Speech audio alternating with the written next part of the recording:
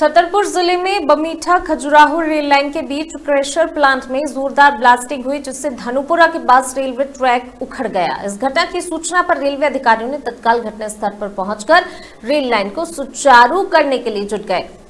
गनीमत रही कि इस दौरान कोई ट्रेन इस रेल लाइन के पास नहीं की गई, नहीं तो कोई एक अनहोनी हो सकती थी। रेल लाइन की मरम्मत का काम तेज़ी से किया गया। मौके पर कई रेलवे अधिकारी मौजूद रहे।